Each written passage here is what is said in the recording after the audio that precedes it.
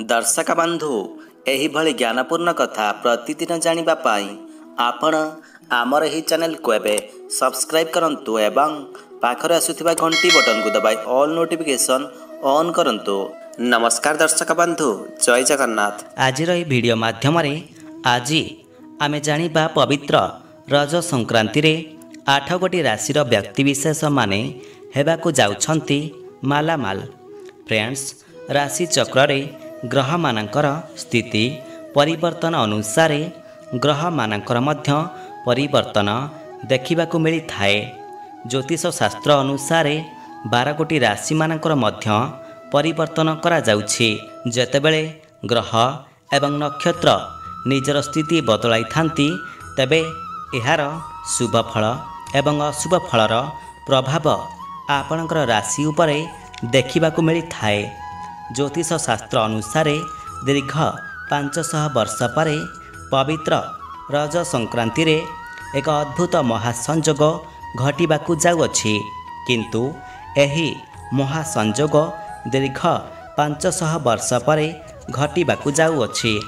କିନ୍ତୁ ରାଶି ଚକ୍ରର କେତୋଟି ରାଶି ଉପରେ ମାତା ଲକ୍ଷ୍ମୀଙ୍କର ଆଶୀର୍ବାଦ ଓ ଅଶେଷ କୃପା ବର୍ଷିବାକୁ ଯାଉଅଛି ଯାହାଦ୍ୱାରା କି ଏହି ଆଠ ଗୋଟି ରାଶିର ଭାଗ୍ୟ ବ୍ୟକ୍ତିବିଶେଷମାନେ ବିଶେଷ ରୂପରେ ପ୍ରଭାବିତ ହେବେ। ତ ଫ୍ରେଣ୍ଡସ୍ ଆସନ୍ତୁ ଜାଣିବା ସେହି ଆଠ ଗୋଟି ରାଶିର ବିଷୟରେ ଜାଣିବା ଯେଉଁମାନେ ଏହି ରଜ ସଂକ୍ରାନ୍ତିରେ ହେବାକୁ ଯାଉଛନ୍ତି କୋଟିପତି। ତେବେ ପ୍ରଥମ ରାଶିଟି ହେଉଛି କୁମ୍ଭ ରାଶି। କୁମ୍ଭ ରାଶିର ବ୍ୟକ୍ତିବିଶେଷମାନେ ଏହି ରଜ ସଂକ୍ରାନ୍ତିରେ ହେବାକୁ ଯାଉଛନ୍ତି କୋଟିପତି। ରାଜଯୋଗ କାରଣରୁ କର୍ମକ୍ଷେତ୍ରରେ ସମ୍ମାନର ବୃଦ୍ଧି ହେବ। ଚାକିରି ବେପାର କ୍ଷେତ୍ରରେ ମଧ୍ୟ ଉନ୍ନତି ହେବ। ଆପଣ ଲାଭବାନ ମଧ୍ୟ ହେବେ। ବହୁତ ସୁଖ ସୁବିଧା ପ୍ରାପ୍ତ ହେବ। ସମାଜରେ ମାନ ସମ୍ମାନ ଆପଣଙ୍କର ବୃଦ୍ଧି ହେବ। ଆପଣ ଯେକୌଣସି କାର୍ଯ୍ୟରେ ହାତ ଦେବେ। ଆପଣଙ୍କର ଚତୁରତା ଏବଂ ବିବେକ ହେତୁ ସମସ୍ତ ବିପରୀତ ଏବଂ ପରିସ୍ଥିତିର ସାମ୍ନା କରିପାରିବେ ଏବଂ ସବୁ କାର୍ଯ୍ୟରେ ଆପଣଙ୍କୁ ସଫଳତା ମିଳିବ। ସବୁକିଛି ସୁନ୍ଦର ଓ ସୁନ୍ଦର ଦେଖାଯିବ। ସ୍ୱାସ୍ଥ୍ୟର ଉନ୍ନତି ହେତୁ ମନ ଆପଣଙ୍କର ଭଲ ରହିବ। ଅଚାନକ ଧନ ପ୍ରାପ୍ତି ହେବାର ଯୋଗ ମଧ୍ୟ ରହିଛି। ବ୍ୟବସାୟୀମାନଙ୍କୁ ବ୍ୟାପାର ଓ ବ୍ୟବସାୟରେ ଜାଗା ଓ ଜମି କିଣିବାର ସୁଯୋଗ ରହିଛି। ଅଳଙ୍କାର କିଣିବାର ମଧ୍ୟ ଯୋଗ ବନୁଛି। କର୍ମକ୍ଷେତ୍ରରେ ଉତ୍ତମ ସହଯୋଗ ହେତୁ କୌଣସି ନୂତନ କାର୍ଯ୍ୟ କରିବାକୁ ଚାହୁଁଥିଲେ ସେଥିରେ ମଧ୍ୟ ଲାଭ କରିବେ। କୌଣସି ବ୍ୟାଙ୍କରୁ ମଧ୍ୟ ଋଣ ପାଇବାର ଯୋଗ ମଧ୍ୟ ବନୁଛି। ସ୍ୱାଭିମାନକୁ ବଜାୟ ରଖି କର୍ମ ଉନ୍ନତି ଓ ଭବିଷ୍ୟତ ଉନ୍ନତି କରିପାରିବେ। ଅଚାନକ ଭାବରେ ଆୟକୁ ବଢ଼ାଇବା ପାଇଁ ବହୁତ ପ୍ରୟାସ ମଧ୍ୟ କରିବେ ଏବଂ ସଫଳ ମଧ୍ୟ ହେବେ। ସୁପାରିଶ ମଧ୍ୟ ସାମ୍ନାକୁ ଆସିବ। ତେବେ ଦ୍ୱିତୀୟ ରାଶିଟି ହେଲା ମିଥୁନ ରାଶି। ଦର୍ଶକ ବନ୍ଧୁ ମିଥୁନ ରାଶିର ବ୍ୟକ୍ତି ବିଶେଷମାନେ ମଧ୍ୟ ଏହି ରଜ ସଂକ୍ରାନ୍ତିରେ ମାଲାମାଲ ହେବାକୁ ଯାଉଛନ୍ତି। ଆପଣଙ୍କର ବ୍ୟବସାୟ ଆଦିରେ ପ୍ରଚୁର ଲାଭ ହେବାକୁ ଯାଉଛି।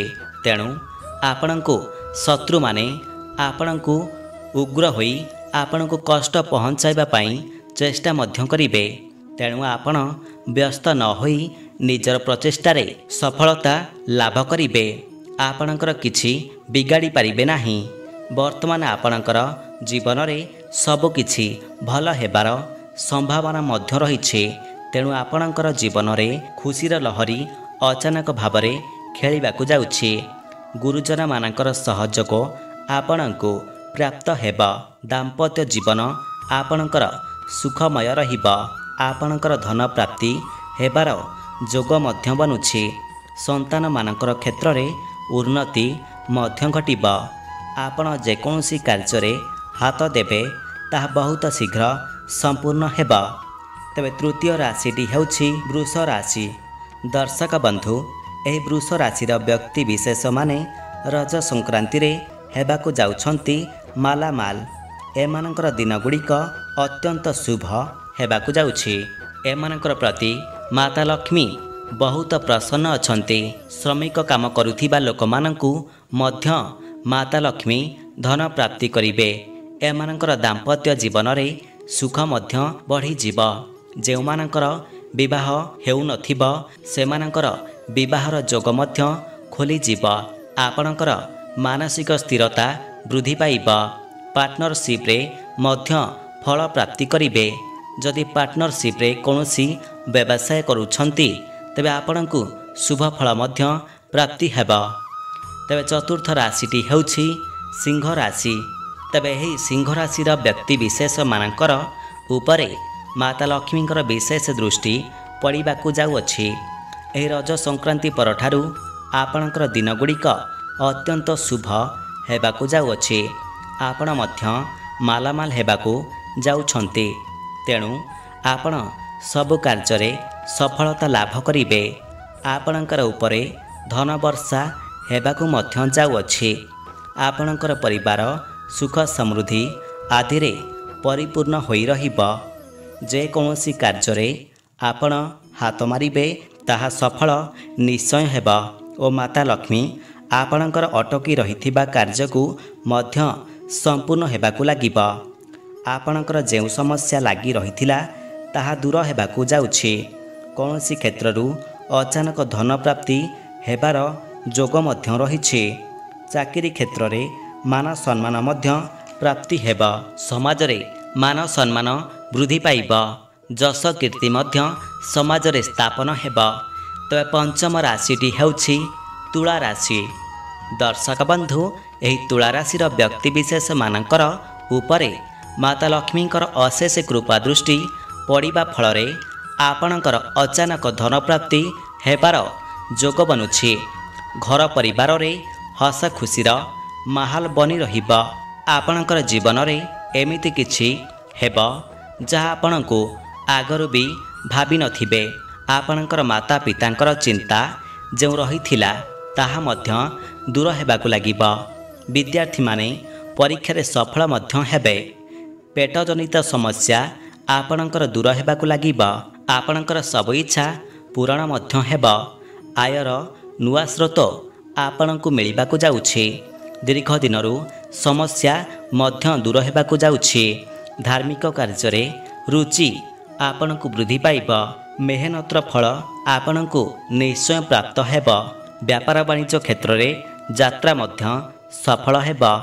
ଏହି ସମୟ ମଧ୍ୟରେ ଆପଣ ମଧ୍ୟ ମାଲାମାଲ ହେବାକୁ ଯାଉଛନ୍ତି। କୌଣସି ସ୍ରୋତରୁ ଆପଣଙ୍କ ପାଖକୁ ଧନର ଆଗମନ ମଧ୍ୟ ହେବ। ତେବେ ଷଷ୍ଠ ରାଶିଟି ହେଉଛି ମୀନ ରାଶି। ଦର୍ଶକ ବନ୍ଧୁ ମୀନ ରାଶିର ବ୍ୟକ୍ତିବିଶେଷମାନେ ଏହି ରଜ ସଂକ୍ରାନ୍ତିରେ ହେବାକୁ ଯାଉଛନ୍ତି ଅନେକ କୋଟିପତି। ଏମାନଙ୍କର ଉପରେ ମାତା ଲକ୍ଷ୍ମୀଙ୍କର ଅଶେଷ କୃପା ବର୍ଷିବାକୁ ଯାଉଛି।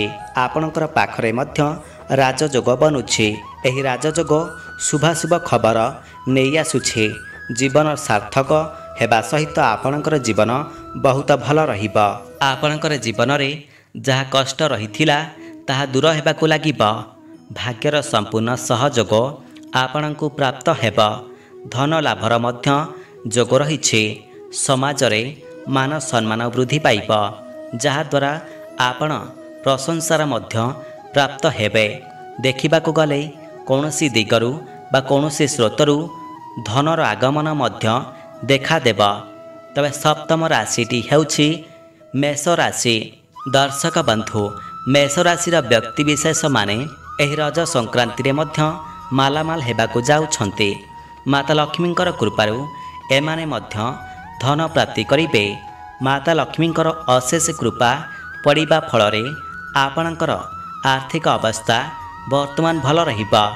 ବ୍ୟବସାୟ କ୍ଷେତ୍ରରେ ଆପଣଙ୍କର ବହୁତ ଉନ୍ନତି ଘଟିବ ପ୍ରେମ ସମ୍ପର୍କରେ ରହିଥିବା ଲୋକମାନଙ୍କର ପାଇଁ ମଧ୍ୟ ସମୟ ବହୁତ ଭଲ ରହିଛି। ଯେଉଁମାନେ ଭଲ ପାଉଥିଲେ ସେମାନେ ଏବେ ବିବାହ ବନ୍ଧନରେ ବାନ୍ଧି ହେବାକୁ ଯାଉଛନ୍ତି। ଚାକିରି କରୁଥିବା ଲୋକମାନଙ୍କର ପାଇଁ ଏହି ମାସଟି ବହୁତ ଭଲ ଅଟେ। ଆପଣଙ୍କର ଜୀବନସାଥୀ ଆପଣଙ୍କୁ ବହୁତ ଖୁସି ଦେଇପାରିବେ। ତେବେ ଆପଣଙ୍କର ବର୍ତ୍ତମାନ ଉନ୍ନତି ଏବଂ ସଫଳତା ସୁଯୋଗ ସୁବିଧା ସବୁ ଆସୁଅଛି ଆପଣ ଆପଣଙ୍କର ନୂଆ କାମ ଆରମ୍ଭ ମଧ୍ୟ କରିବେ। ଆପଣଙ୍କର ପରିବାରରେ ସୁଖ ସମୃଦ୍ଧି ଆଦି ଭରିଯିବ। ଆପଣଙ୍କର ଭବିଷ୍ୟତ ପାଇଁ ଆପଣଙ୍କର ସମାଜରେ ରହିଥିବା ଲୋକମାନେ ଫାଇଦା ମଧ୍ୟ ପାଇବେ। ଯାହାଦ୍ୱାରା ସେମାନେ ଆପଣଙ୍କୁ ବହୁତ ସମ୍ମାନ ମଧ୍ୟ କରିବେ।